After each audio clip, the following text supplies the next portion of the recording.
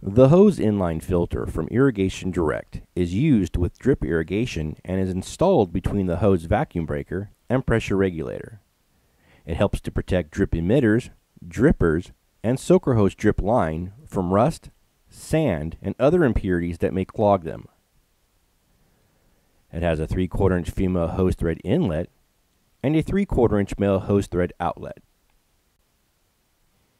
It comes with an internal 120 mesh poly screen and is easily removed for cleaning.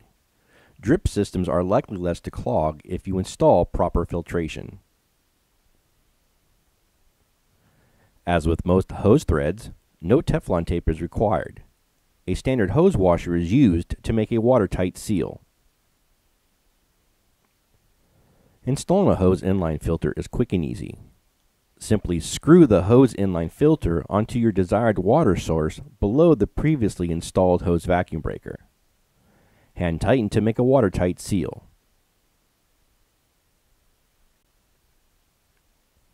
To clean the internal filter screen, simply unscrew any drip components below the hose filter body.